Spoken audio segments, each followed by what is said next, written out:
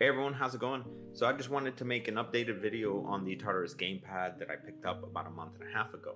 I picked it up specifically so I could play Final Fantasy XIV on my gaming uh, laptop, and it has made gaming just a whole lot easier for me. And so I kind of wanted to show you the layout of the gamepad as well as the setup I have in game for it. I realize there's not a lot of videos out there on it, so in case you're considering buying one, I suggest you watch this and the other first impression video that I have of it. One thing that I did notice that the few videos out there, uh, and I, I want to let you all know this because people have been breaking these gamepads. Please don't break it.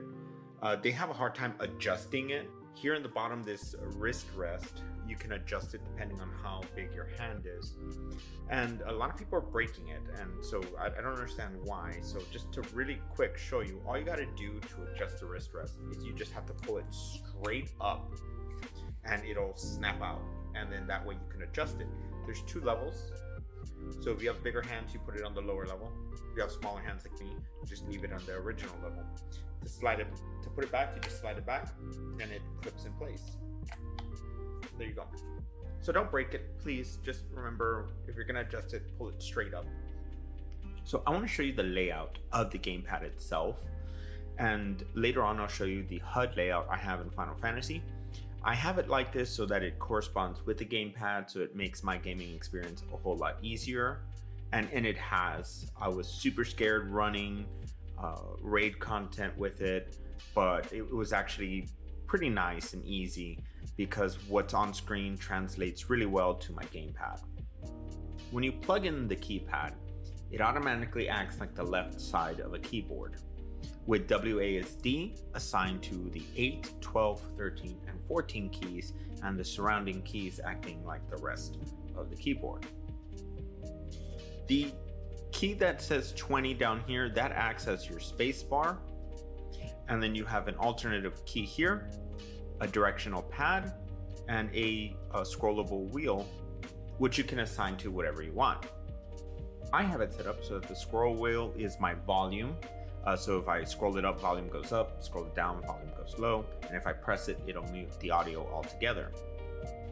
As you can see, the top three rows are five keys, with the bottom row being four keys, and then you have your space bar, which is at 20, like I said. This extra key is the alternative key. I ended up changing it. And so in game, it acts as the number nine. And I'll show you how I have it set up in game right now. I moved the directional pad to be my movement of my character. So that way it frees up keys 8, 12, 13, and 14 for abilities. And all my 19 keys are actually abilities, and so is 20. Now, in game, let me show you what I ended up doing in game. So my HUD looks like this. Looks kind of weird, looks kind of funky. Uh, let me explain to you exactly what I ended up doing. So if you go to over here to systems, you go to HUD layout and you have access to this. I'm gonna leave the crossbar. I'm gonna move this out of the way because that's for controller players. So real quick, the main hotbars I have is hotbar one and hotbar two. To change the layout of the hotbar, you're just gonna hit this cogwheel and here you can customize the settings. Now there's no setting that replicates the keypad exactly, so you're gonna have to make some changes.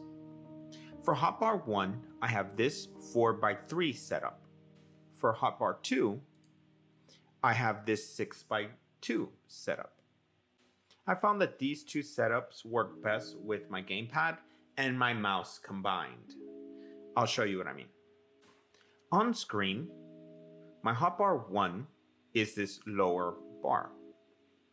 I have 1, 2, 3, and 4. These are my main rotation abilities. Directly underneath it, you have 5, 6, 7, 8. These are kind of supporting abilities or other attack abilities depending on my class. It's easier for me to just move my fingers down and click that button. So that main rotation on the keypad equals to 11, 12, 13, and 14. That third row is where your fingers naturally rest. So I just thought it would be easier to leave my main rotation there, making it easier for me to click.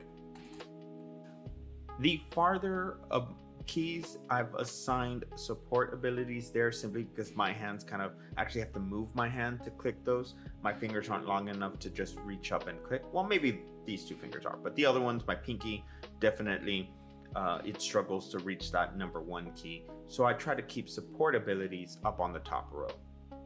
This hotbar 2 is assigned with control number. You can change that in the uh, keypad software to do keystrokes. So you can easily type in control one. And that way, when you press that button, that control one hotbar will go off. So as you can see, my hotbar two goes from one to six and from seven to equals. And it's kind of tough because on the gamepad, it only goes up to one through five. So this is where I said my mouse comes in. So C1, 2, 3, 4, and 5 translates to 1, 2, 3, 4, and 5 on my keypad. Now C6 is actually mapped to this top mini button on my mouse. And the command equal will be the bottom button of my mouse. C7 through C dash is that second row on my keypad. So C7, C8, C9, C0, and C dash equals to 6, 7, 8, 9, and 10 on my keypad. Now, this kind of translated um, well into my mind simply because I can look at these abilities and know what I need to click. And then that 6 and equals is good because it's on my mouse. Now, this isn't an MMO mouse. This is actually like a shooter mouse. I've been meaning to get an MMO mouse. I probably will, especially with the expansion pack. I don't know what abilities they're going to be adding. So I feel like that uh, MMO mouse will be helpful in the future. Now, this very, very bottom row, there's no role for that in the gamepad. Instead, Remember that little alternative button I mentioned in the software? Well, that is my 9 button. So when I'm moving around my character with a directional pad, I hit that button so that I can access that ability. The spacebar ended up removing that and putting that to the key function of zero. So if I click it, my zero ability will go off. Now for healer, I kind of have this for quick reses. It's just easier as I'm moving, I can target a down person and just quickly move my thumb up and down to hit swift cast and res.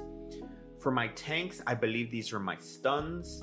And for my summoner, I believe it's my Bahamut, I want to say. One of my summons. You can configure it however you want. I just felt it was a lot easier here just so I can move my thumb up and down to activate those buttons. As you can see, the loadout to the left, they really don't have any keys assigned. Maybe when I get that gaming mouse, I'll assign them keystrokes. But for now, this is just easy for me to move my mouse and click them to activate them. Here on this side, I really don't have much abilities. It's mainly my stance, um, Surecast, things like that. Hopefully you found this very useful. I do plan on making another video on the keypad. It is very comfortable to play with very fun to play with. That's why I've been addicted uh, playing Final Fantasy on my laptop. I really haven't touched it on my PlayStation because uh, it's just so cool. Like just having this in my hand, moving is so satisfying using that D-pad. Now, the reason I decided to go with the Razer Tartarus and not that Final Fantasy Tactical Assault, whatever it's called, uh, is because that directional button here, it fits naturally on the side. So as I have my hand on it, my thumb naturally curves to it. So I'm able to move it on that D-pad and move my character the way I want it to move. That tactical assault one has joystick like straight up and I guess you would have to use the side of your thumb to move it, which would be kind of I don't know. I thought it would be weird moving my character right or whatever. And so I got really scared that I'd be in a raid and I would have to shift right, and I couldn't uh, because of that awkward position. Now, other people are using it. I guess it works for them.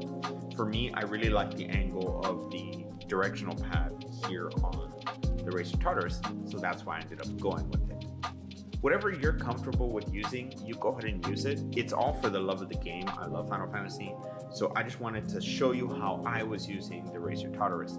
If you found this video useful, please do me a huge favor and hit that like button. That will really help me grow this channel. I'm really trying hard to get Final Fantasy content out, especially for new players who have questions or just uh, people looking for the Tartarus uh, information. So you would really do me a lot of uh, help with just hitting that like button. All right. Thank you all so much. Uh, I hope you have a great, awesome, wonderful day. Bye, y'all.